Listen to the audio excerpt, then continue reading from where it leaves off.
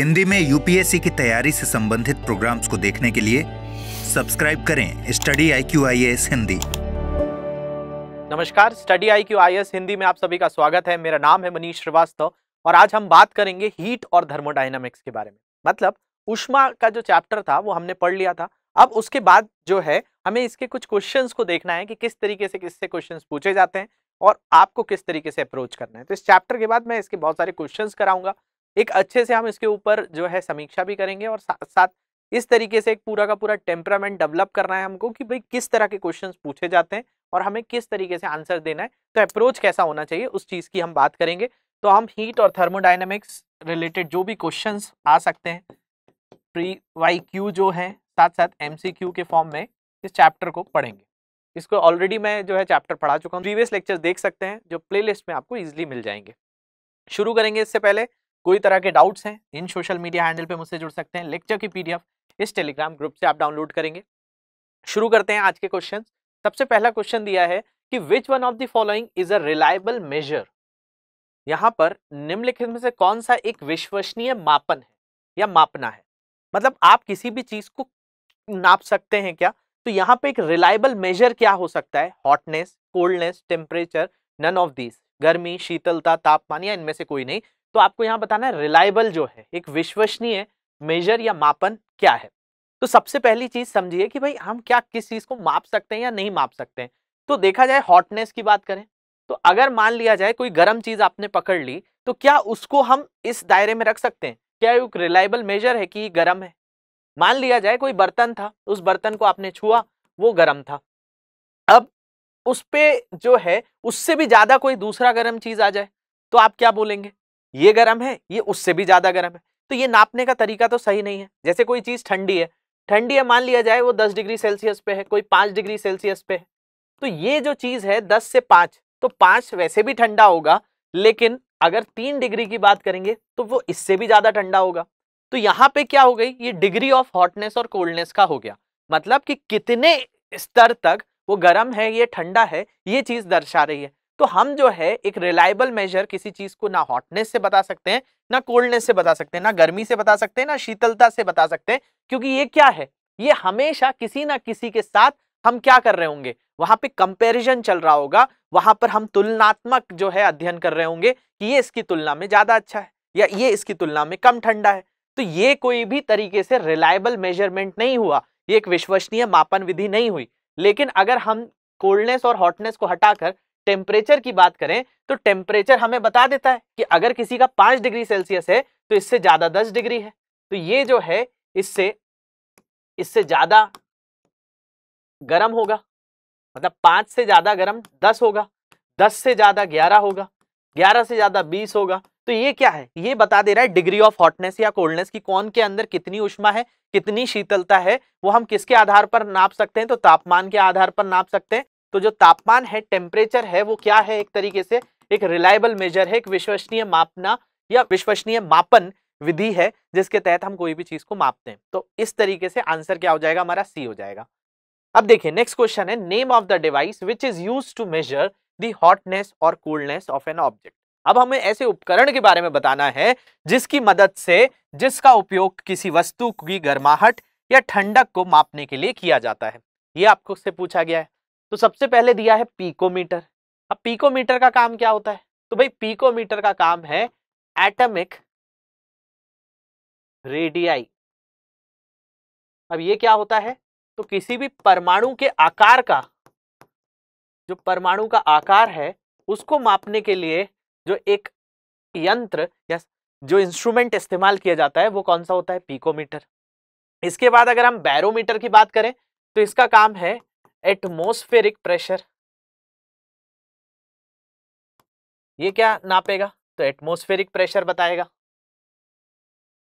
मतलब बैरोमीटर का उपयोग करके हम क्या कर सकते हैं? वायुमंडलीय दाब को निकाल सकते हैं। इसके बाद अगर आपसे कोई मैनोमीटर पूछ ले तो मैनोमीटर का भी क्या है? ये भी आपका प्रेशर नापता है कॉलम्स में।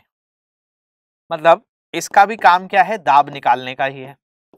लेकिन आपसे कोई थर्मोमीटर पूछ ले तो भाई थर्मोमीटर का इस्तेमाल क्या किया जाता है? तो तापमान को बताने के लिए। और तापमान क्या है? तो ये बताता है मेजर दी हॉटनेस और कोल्डनेस ऑफ़ एन ऑब्जेक्ट कि किसी वस्तु के अंदर कितनी गर्माहट है, किसी ठंडक है, उसका इस्तेमाल किसमें किया जाएगा? थर्मोमीटर में। तो इसका आंसर क्या हो जाएगा? डी यहाँ पर सही आंसर हो जाएगा। बढ़ते हैं अगले क्वेश्चन की तरफ़। Which one is filled in the bulb of a thermometer thermometer के बल्ब में कौन सा भरा जाता है? पारा भरा जाता है, शीशा भरा जाता है, तांबा भरा जाता है या चांदी भरा जाता है? कई बार आपने थर्मोमीटर्स देखे होंगे, इन पे रीडिंग्स भी देखी होंगी। अब इन रीडिंग्स ये जो होती है, ये ऊपर नीचे इसमें क्या होता है? तो मैंने आपको क्लास में पढ़ाया था कि भाई थर्मोमीटर या तो मरकरी वाले होते हैं, या तो एल्कोहल प्रकार के भी होते हैं, जिनमें अल्कोहल का इस्तेमाल किया जाता है। या फिर पारे का इस्तेमाल किया जाता है। कहीं पर भी चांदी का इस्तेमाल नहीं होता, तांबे का इस्तेमाल नहीं होता, लेड का इस्तेमाल नहीं होता है। तो ये तीनों जो है वो नहीं हो सकते, क्या हो जाएगा? मरकरी। तो आपका आंसर सही होगा पारा। तो बेसिकली हम क्या यूज़ करते हैं? मरकरी बेस्ड थर्मोमीटर्स को यूज़ करते हैं। इसके अलावा which is the normal temperature of a healthy person thermometer अब ये आपको बताना है कि किसी भी सामान्य व्यक्ति के अंतर्गत या सामान्य तापमान बताना है हमको किसका? एक स्वस्थ व्यक्ति के अंदर।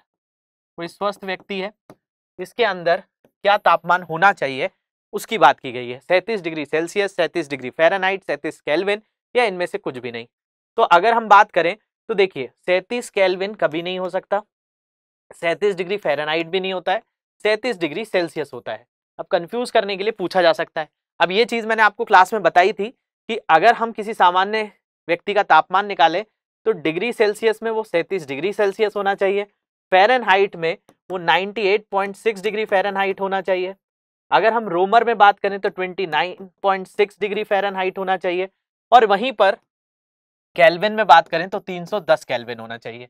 इसके आधार पर हम बता सकते हैं कि कोई व्यक्ति स्वस्थ है या नहीं है या उसकी बॉडी में ज्वर है, बुखार है, ये उससे मेजर किया जा सकता है।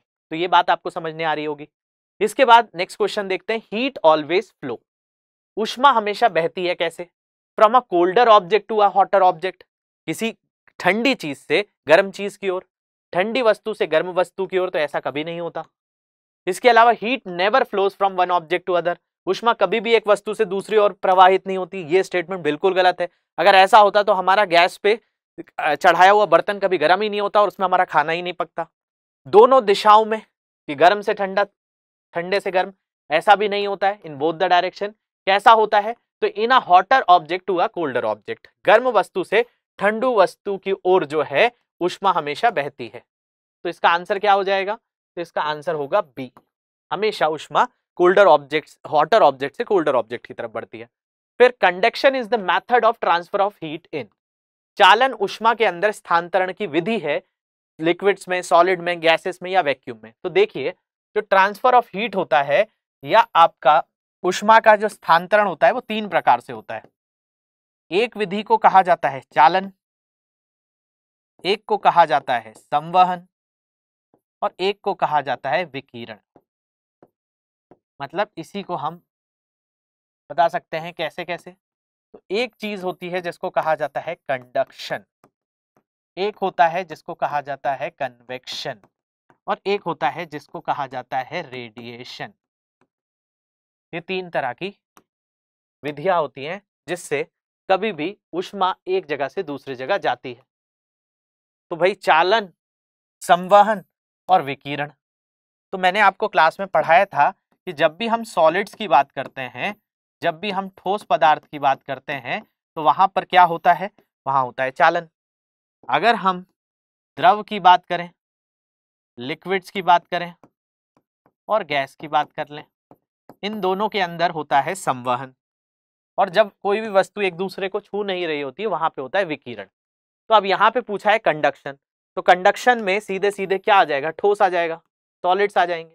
तो भाई ये हो जाएगा इसका ठोस, इसका आंसर क्या हो जाएगा? बी इसका करेक्ट आंसर हो जाएगा। तो इसमें आप आंसर लिख सकते हैं कि क्या है? तो बी है। देखते हैं अगला क्वेश्चन। अगला क्वेश्चन है heat from the sun reaches to us by सूर्य से उष्मा हम तक किसके द्वारा पहुँच रही है?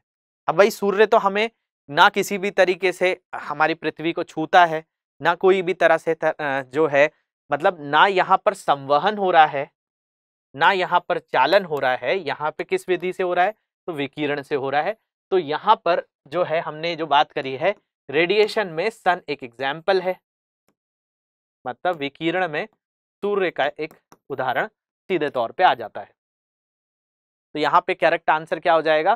तो यहाँ पे हो जाएगा रेडिएशन इसके बाद देखिए, बहुत अच्छा क्वेश्चन है ये भी। A beggar wrapped himself with a few layers of newspaper on a cold winter night एक भिखारी ने सर्द रात में खुद को अखबार की कुछ परतों में लपेट लिया। इससे उन्हें खुद को गर्म रखने में मदद मिलेगी, क्योंकि this help him to keep himself warm because अब ये जो है, क्या हो रहा है? एक भिकारी ने सर्द रात में खुद को अखबार की कुछ परतों में लपेटा हुआ है, जिससे उसको क्या हो रहा है? उसको खुद को गर्म रख पा रहा है तो ऐसा क्यों हो पा रहा है? तो पहला ऑप्शन दिया है, friction between the layers of newspaper produces heat. अखबार की परतों के बीच घर्षण से गर्मी पैदा होती है कि भाई अखबार आपस में टकराता है और गर्मी उत्पन्न कर देता है। तो क्या ये कारण है? Air trapped between the layers of newspaper is a bad conductor of heat. अखबार की परतों के बीच फंसी हवा गर्मी की कुचालक होती है। इसके अलावा समाचार पत्र उष्मा का सुचालक होता है। Newspaper is at higher temperature than the temperature of the surrounding अब देखिए अखबार का तापमान आसपास के तापमान से अधिक होता है तो ये ऐसा नहीं है। आ, कोई अखबार भी अगर हीट के संपर्क में आएगा मतलब कोल्ड के संपर्क में आएगा ठंड रात है तो वो भी धीरे धीरे ठंडी होगा। लेकिन यहाँ पर उसको ठंड क्यों नहीं लग रही है? तो देखिए फोर्थ ऑप्शन तो इसका हो ही नहीं सकता। मतलब डी ऑप्शन तो कहीं से भी कहीं तक नहीं होगा। इसके बाद देखिए तीसरा ऑप्शन क्या दिया है? Newspaper is a conductor of heat भाई न्यूज़पेपर अखबार कहाँ से चालक हो गया? तो ये होता तो हम न्यूज़पेपर का इस्तेमाल हीट को ट्रांसफ़र करने में करते। आप बोलेंगे, सर, अखबार जला दीजिए। अब भाई, अखबार को जला दिया तो अखबार बचा कहाँ? वो कोई कंडक्टर थोड़ी हुआ। कंडक्टर का मतलब है जैसे आपका बर्तन, आपने बर्तन चढ़ाया, उसमें पानी गर्म किया, उसमें खाना बनाया तो आपका बर्तन थोड़ी जल जाता है। तो वो कंडक्टर कैसे हुआ? तो यहाँ पर सी ऑप्शन भी नहीं हो सकता। पहला ऑप्शन है friction between the layers of newspaper कि भाई जो अखबार की बीज की परतें हैं, वो आपस में घर्षण कर रही हैं और उनसे उष्मा उत्पन्न हो रही है। तो ऐसा तो नहीं होता है। ऐसा बिल्कुल नहीं होता है। अब बचा कौन सा ऑप्शन बी? तो air trapped between the layers of newspaper is a bad conductor of heat अब जो हवा बीच में फंसी हुई है न्यूज़पेपर के, अखबार के परतों के बीच में फंसी हवा गर्मी की कुचालक होती है। तो उसके अंदर जो गर्मी बनी हुई है, वो उसको बाहर नहीं जाने दे रही और बाहर की चीज़ अंदर नहीं आने दे रही, जिसके कारण वो व्यक्ति ठंड रात में भी अपने आप को सरवाइव कर पाता है।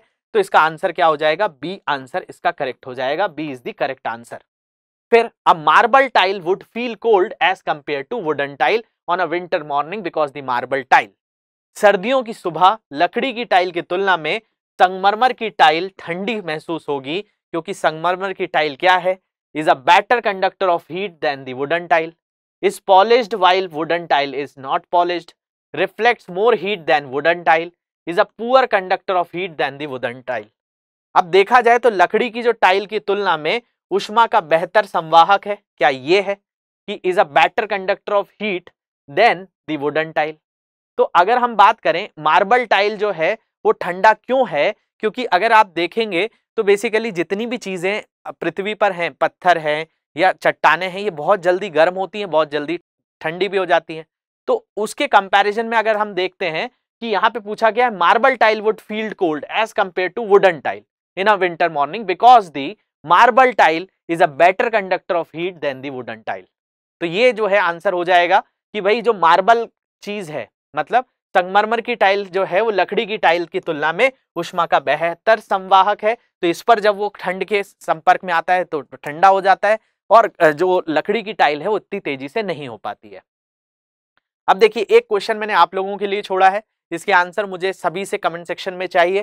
तो इसका आंसर बताइए कि shopkeeper selling ice blocks usually cover them with jute sack explain why बर्फ़ के ब्लॉक बेचने वाले दुकानदार आमतौर पर इन्हें जूट की बोरियों से ढक देते हैं। इसको समझाना है ऐसा करके वो बर्फ़ के साथ क्या करते हैं और बर्फ़ का जो चीज़ है वो पिघलने से कैसे रोकती है। तो इसका आंसर कहाँ करना है? तो इसका आंसर प्रॉपर एक्सप्लेनेशन के साथ मुझे कहाँ चाहिए? कमेंट सेक्शन में चाहिए। तो कमेंट सेक्शन में मैं आपके आंसर्स का वेट करूँगा और उसको मैं रिव्यू भी करूँगा। तो आप वहाँ पर आंसर्स ज़रूर लिखकर भेजें। इसके अलावा कोई डाउट्स आते हैं, इन सोशल मीडिया हैंडल पर जुड़ सकते हैं। लेक्चर की पीडीएफ ऊपर दिए गए टेलीग्राम ग्रुप से डाउनलोड कर लीजिएगा और अपने चैप्टर के बाद वापस से इन क्वेश्चन को रख लीजिएगा कि हम जब धीरे धीरे इनको बार बार जब रिवाइज करें दो दो महीने में एग्ज़ाम्स आने से पहले तो हमारे ये क्वेश्चंस जो है, हमारे चैप्टर को स्ट्रॉन्ग करने में मदद करें। और भी कोई तरह की दिक्कत है कमेंट सेक्शन में बताएँगे। टॉपिक्स जो भी लगते हैं, उनको लिख देंगे, उसके ऊपर क्लासेस मिल जाएँगे आपको। Thank you very much for watching this have a great day Hindi में यूपीएससी की तैयारी से संबंधित प्रोग्राम्स को देखने के लिए सब्सक्राइब करें। Study I Q I S Hindi